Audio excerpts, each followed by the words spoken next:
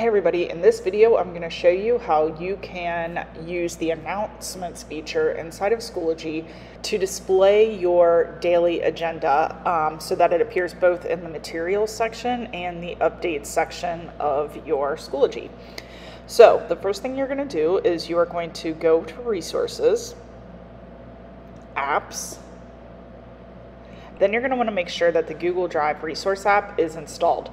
If it's not, you'll go to install apps, agree, and then it'll be listed here for you to install. If it is installed, you need to make sure that you're logged in. So you'll click on it, and if you're not logged in, if you choose options, account settings, you can sign in with Google.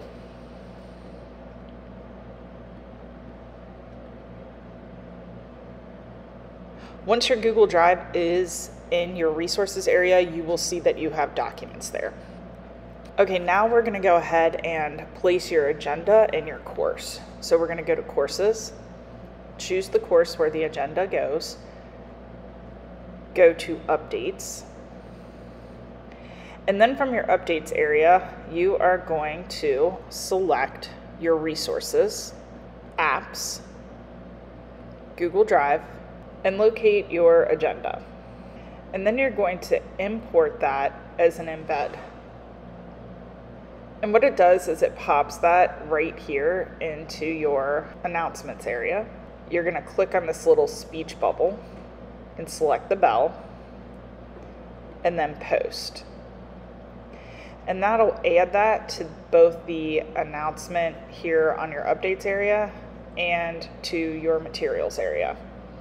Okay, so under your Google Slides, what you have to do is there's a couple things that you need to do to make sure it's constantly visible. The first thing you have to do is you want to go over to Share,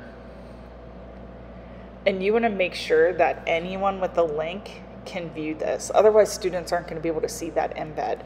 So make sure anyone with the link can view, and then it's done. Okay, so right now, if I type in Monday, and this is going to be my agenda for Monday. If I go here to Schoology and refresh the screen, I'll see that it made that update. Now, if I want to add a new agenda for, say, Tuesday, what I'm going to do is I am going to duplicate this agenda slide. And the one that should be visible always has to be the first slide. So I'll call that Tuesday pop back over and you'll see that it automatically updates. So that's a quick way that you can show your agenda. You can add links. You can do all kinds of things here inside of Schoology. Um, but just make sure that the day that you're on is always the very first slide in your Google Slides. Um, if you do have hyperlinks, it will link students out. So that's a quick way to get them into different programs, or actually you could hyperlink um, specific pages inside of your Schoology. So if I went here and they were going to be, say, working in this folder, I'm just going to hyperlink that. Apply. And then when I come back, I'm going to refresh, go back to my materials and I'll see that I have this new link and it takes them right into the section of Schoology that they need. So that's just some quick, quick strategies for using your daily agenda. All right, if you have any questions, let me know.